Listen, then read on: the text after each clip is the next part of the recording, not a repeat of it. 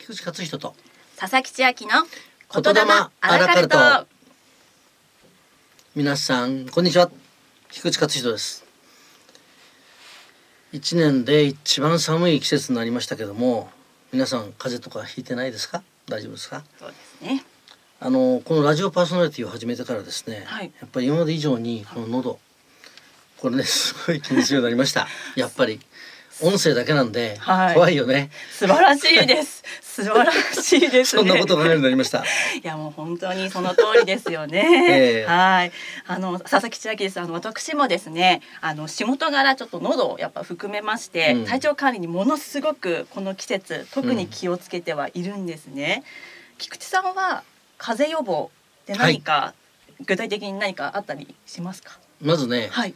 帰宅したらすぐにうがいをするうん。手を洗うインフルエンザって手から入るらしいんですよねあ、そうなんですね。うん、あとはこの前テレビでやった受け売りですがはい。紅茶がいいそうです あ、そうなんですか。紅茶。がこれインフルエンザだよはい。あの風邪じゃないんだけど、いインフルエンザにはいいですよっていうことでへーこんなこと聞きましたのでなるべく紅茶飲むようにしてますちょあっとコーヒーやめて紅茶にしようかなあら、そうなんです ちょっと最近、はねい。1月2月はそうしようかなと思ってますあ、大事ですね。ありがとうございます私もですね菊池さんと同じくうがい手洗いこれも徹底的にしてましてあ,、あうんうんとはもう、まあ、寒さ対策もあるんですが常にマスクをつけています。あはい。この時期のプライベートの私を見ると常にマスクをつけているという。プロは違うねそこはね。いや違います違います。はい。ということでですねもう皆さんも元気にこの番組を聞いていただくことが一番なのでそれぞれの健康法や風邪予防など実践いただきながらこれからの30分間楽しんでお聞きいただければと思っております。さてそれでは改めまして言霊アラカルトこの番組は筆跡心理コンサルタントの菊池克人さんとセリフを話すという職業についております。私女優佐々木千秋が言葉の大切さや魅力文字を書くことから見えてくるものなどを言霊として皆さんにお伝えしていく番組です。それでは最初のコーナーは言葉の魔法のコーナー。このコーナーは普段何気なく使っている言葉の意味や使い方について改めての魅力やその影響についてのワンポイントアドバイスを菊池さんの独自の観点で解説していくコーナーです。今回ははいこんなシチュエーションからわかる、その人の心の奥底に潜む思いについてご紹介をさせていただきます。はい。はい、こんなシチュエーションです。言霊商事に勤め出した千秋さん、えー盲目的に仕事に没頭する先輩の A 子さん、B 子さんにそれぞれ素朴な疑問としてなぜわざわざそんな風に頑張るんですか？という質問をぶつけてみたところ A 子さん、B 子さんの回答は次の通りでした。まず A 子さん、しなくてもいいことはしないで済ませたいからよ。避けられる問題は前もって上手に回避したいからよ。はい、それに対して B 子さん、実現に向けた将来像が明確になるからよ。これは今の問題を達成する上で近道になるからよ。さあこの A 子さん B 子さんの回答のニュアンスからどういったことが読み取れるのか早速菊池さんに伺ってみましょう。はいはいありがとうございます。はい。まず英子さんのはい。今の言った内容というのは、はい。自分が嫌だなと思うこととか、うん。避けたいなと思うことに焦点が当たってる言葉なんだよね。はい。だからしなくていいことはしたくないよねとかね、やっぱり目的を持ってるんじゃなくて、はい。避けたいものに焦点が当たってる。嫌なことに焦点が当たってる。うんそんな感じがします。排除したいもの、はい。あるいは問題になるんじゃないかなと思うのはうまく返したいなっていうところがやっぱりありますね。はい。それに対してあの B 子さんは、はい。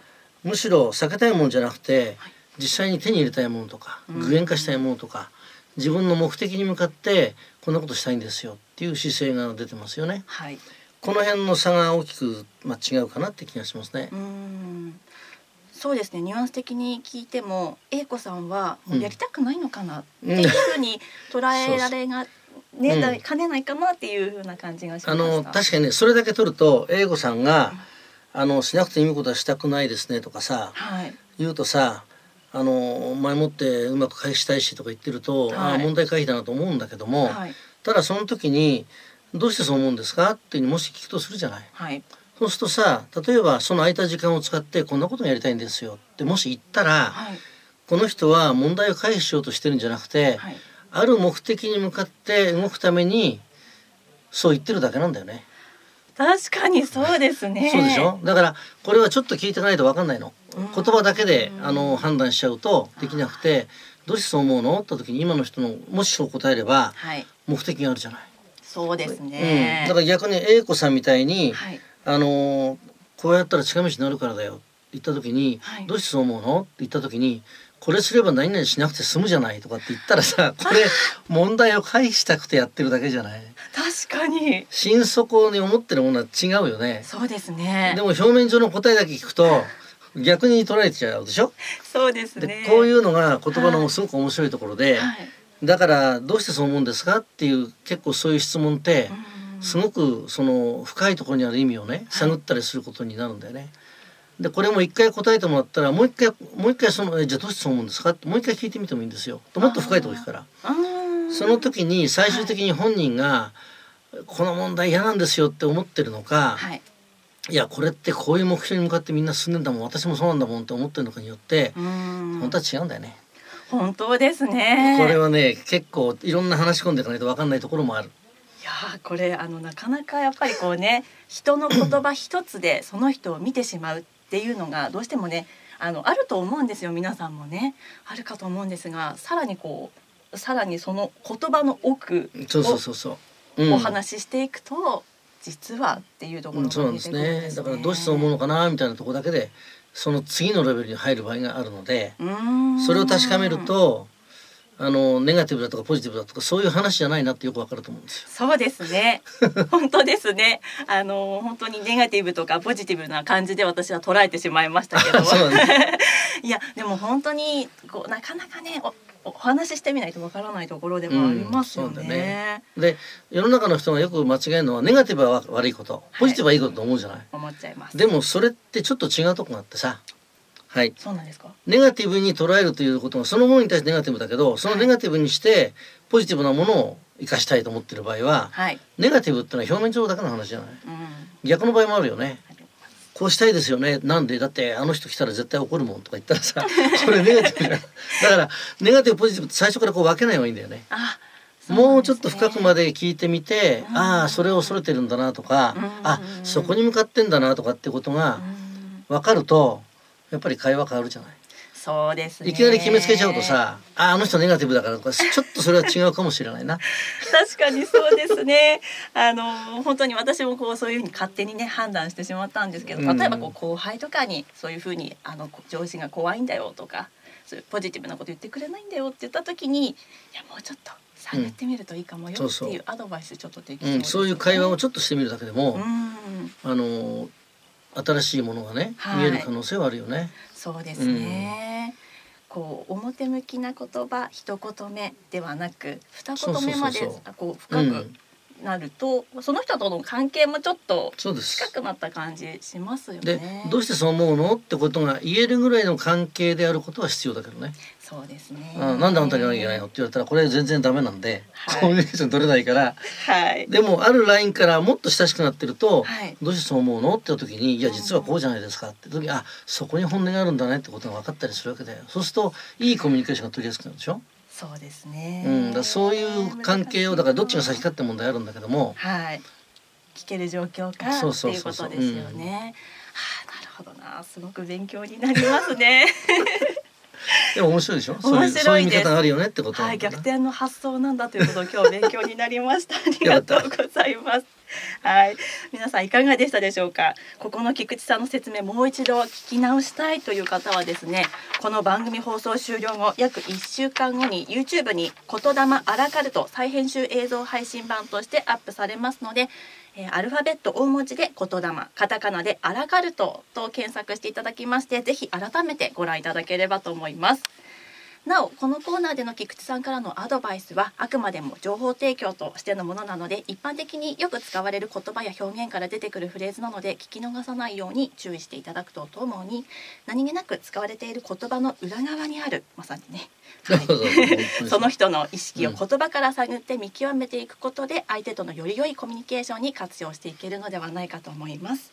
そしてこれは他人ばかりではなくて自分自身を知ることにもつながっていくスキルなんですがあくまで参考にするものであって断言するものではないことくれぐれもご注意ください。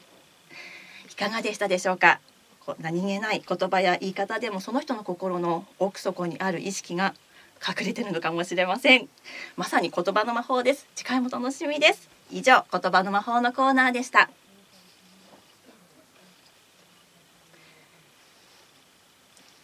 千秋のマンスリーソング。さてこのコーナーは私佐々木千秋のお気に入りの楽曲をかけさせていただくコーナーです。今回はドリームズカムトゥルーさんの決戦は金曜日を選ばせていただきました。菊池さん2月14日は何の日ですか？あもうはい。知っております。はいバレンタインデーでございます。もう間もなくですね。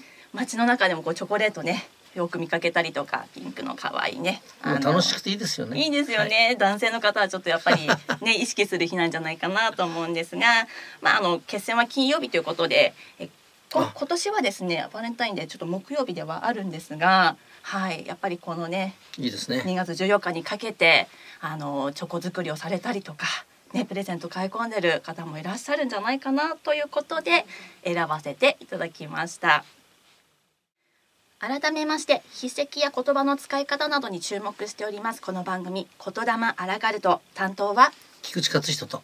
佐々木千秋です。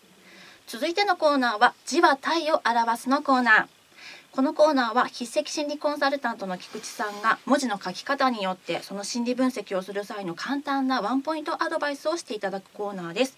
菊池さんにはどういった方が書かれた字というのは伏せましてまさに字だけを見ていただきこんな字を書く人はこんな性格といった解説をお願いしております。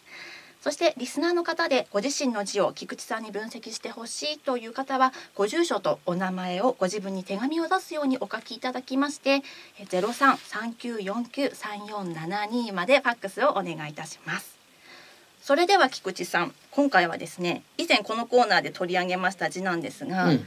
前回あの勝利の勝勝つという字をですね、書いていただいた方が、はい、まあ、なかなかうまく書けずに ね本当の事態を伝えられなかったということでですね、ぜひ改めてということでリベンジ戦でございます。今回はですね東東西南北の東という字を書いていただきました、はい。うん、ですのでちょっと重複してしまう部分もあるとは思うんですが今回の東という字について分析のポイントを交えながら解説をお願いいたします。はい。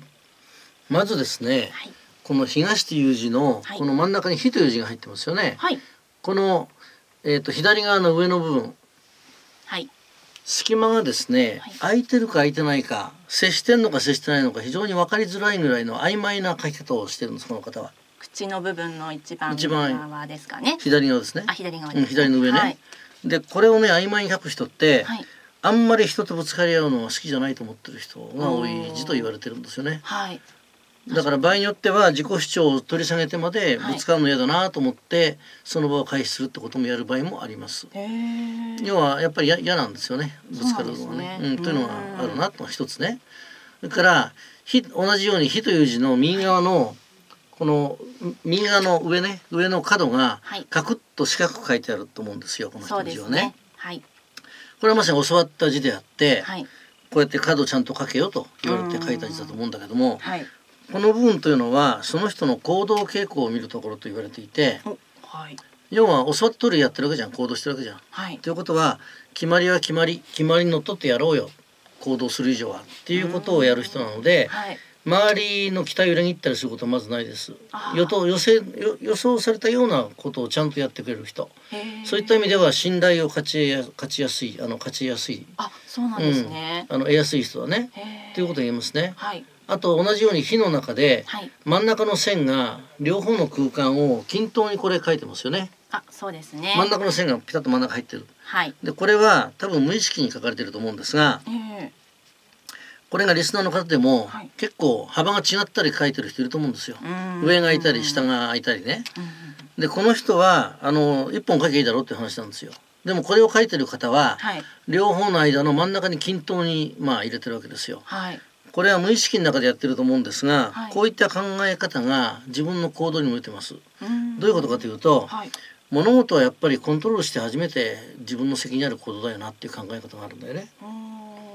だから自己コントロール能力が高いということも言えるかもしれない。ね、もちろんこれはこの一文字だけでは断言はできないけれども、うんはい、いくつも見た時にそういう傾向が強ければ、はい、あ結構自分のコントロール能力高いですねっていうことが分かる。へえ、なんかね、素晴らしい方なんですね。ちゃんと自分でねコントロールできるんですもんね。ただこういう人の弱みは、はい、今の感情とか感覚をじゃあちょっと色にしてみてとかさ、ちょっと音楽で鼻歌でいいから歌ってみてとか言われちゃうと、できないですよ。あ、そうなん一回翻訳してるから自分の中で。あ、そっか。直感的にこんな感じとかね、そういうのってのは結構不得意だったりするんだよね。だからこの辺が字を見ていい悪いじゃなくて、はい、その特性をどう生かすかですよっていうのはそこの部分であって、ね、いい悪いは関係ないんですよね。はい、あとこの「火」という字のこの左の下を開けてますよね。はい、かなり開いています、ね、かなり開いてるよね。はい。これつけても開けても、はい、もう読めるじゃない？東っていう字は。まあ確かに読めます、ね、読むでしょ？はい。っていうことはさこの方は最後までやんなくてももう分かるだろうっていうのが結構あるんだよ。もう分かるだろ？うっていう感覚だね。いいじゃんもう。っていう感覚。あと任せるからみたいな。そういうところがこうねちょっとある人なんだよね。あなるほど、うん、だからある意味では要領よくパパパ次のことをやっていく。はい。違う言い方をすると爪が甘いとかありますよね。っていうことを言う人もいるかもしれない。でもこれもさっきと同じように、はい、爪が悪いって言うとさなんか悪いみたいじゃない、うん、だから次々に新しいことを手をつけていきながら、はい、どんどん開拓していくことを考えればさ決して悪い意味じゃないでしょ、はい、そうですね。これは一つの特性をそんな言い方をしてるという表現の仕方の問題だけであって、言ってるものは最後の最後まで全部自分が見なくちゃいけないとまでは思ってないところがあるねっていうことだけなんですよ。これがいいか悪いかは別の問題です。うん、そうですよ、ね、その環境が最後まで見ることを要求してればこの人は違うだろうってなるし、うん、いやいやそうじゃなくてもうある程度決まったら次行ってよっていう世界ではすごく自分のことを発揮しやすい人よねってことがまあわかるね。あなるほど。うんそんなことがありますね。はい。でもう一つは、はい、この東っていう字の右側の払いね。この払いですね、最後のところですね。これ全体の字のバランスから言っても結構長めに書いてるんですよこの方は。はい結構。これは筆を持ってて、はい、筆がこう離せないんだよね。いつまでたっても結構ね思い入れが強い人です。これ人でも物でも何でもそうなんだけど、はい、これいいぞって思ったら結構わーっとこうどっぷり使う。方あそうなんです、ね、これっぽい。惚れ込みやすい。だからこういう方と話す時は、どこに関心が高いのかなとか、何にこう惚れ込んでるのかなってことがある程度分かるとすごくこうコミュニケーションが取りやすくなることはありますね。本人もその入れ込んでる部分についてはすごく大事にしてるから。そんなものがこんな無意識に書いてる字から結構出てきたりするんだよね。すごいですね。面白いですね。面白いです。はい。あとはもう本当にまあ全体的に見た感じが大きいですよね。そうですね。おっしゃる通りです。はい。大きな字を堂々と書いてる人っていうのは、はい、やっぱり行動的です。もっと言うとまず動いてみようよみたいな。まず行動だろうんじゃないか分かんないだろうみたいなことを結構こう言う人だよね。ああまず動かなきゃ分かんないぜっていう感覚だね。はい。なんかちょっと分かってきましたね この人のこと。ね。はい。今言ったのは5つか6つかあるけども、はい、やっぱりこれの組み合わせでこの人はできてるので。ただはっきり言わなきゃいけないのはまず一文字でしかないから、そうですね、断定はできない。それともう一つは字からその人のことが全てが分かってるなんてことを言ってるんじゃなくて、はい、字から分かることはお伝えできますよと言ってるんです。はい、そこはちょっと誤解をしないでほしいんですね。はい、でも今言ったような特性が組み合わさってこの人はできてることは事実、もちろんそれ以外の要素はあると思いますよ。そうですね。少なくとも今分かった部分だけの組み合わせでできてるから、この要素は人によって違うので、この人はそれをいかに自分が生かすかってことを考えればいいかなって気がしますね。なるほど。はい。いやでもこの一文字だけで。まあね、皆さんそれぞれ個性的な、やはりそれぞれ個人のオリジナルのものを書かれるので、すごく面白いなと毎回聞いているんですけれども。いやすごいですよね。もう本当に面白いなというふうに感じました。皆さんいかがだったでしょうか？いろんな方とのコミュニケーションを図る上でまずは己を知るということも基本のね、ね、一つだと思います、はい、ただこの筆跡診断あくまで筆跡からその人の特性を読み取っているだけなのでその特性がいいとか悪いとかの判断を行うものではないことをあらかじめご理解と、えご注意ください。繰り返しになりますがリスナーの方でご自身の字を菊池さんに分析してほしいという方はですね、はいご住所とお名前をご自分に手紙を出すようにお書きいただきまして、えー、03-3949-3472までファックスをお願いいたします。お待ちしております。以上字は体を表すのコーナーでした。皆さんなんともうエンディングのお時間になってまいりました。言霊アラカルトいかがだったでしょうか。この番組は毎月第2第4土曜日お昼14時30分からお送りしておりますのでぜひ次回放送も同じ時間お耳にかかりたいと思います。菊池さん今回はいかがでしたでしょうか？いやなんかこう一生懸命になって話すとあっという間に時間が過ぎちゃってさ はもう終わりだみたいな本当はもっともっとお伝えしたいのたくさんあるんですけどね。はい。はい、もうでも、ね、また次回よろしくお願いします。あのすごく今回もたくさんいろんなことを教えていただいて、私結構日常生活楽しいんですよ。字をすごく見るようになりましてですね。はい。すごい字の世界にどんどん引き込まれております。うん、はい。はい、そしてこの番組へのご意見、ご質問、感想などはお便りをお送りいただきますようお願いいたします。メールアドレス info アットマーク plus ハイフン vox ドット com info アットマーク plus ハイフン vox ドット com 言霊アラカルトまでお待ちしております。それでは言霊アラカルトまたお耳にかお耳にかかりましょう。皆様のお相手は菊池克人と佐々木千秋でした。では次回またお耳にかかりましょう。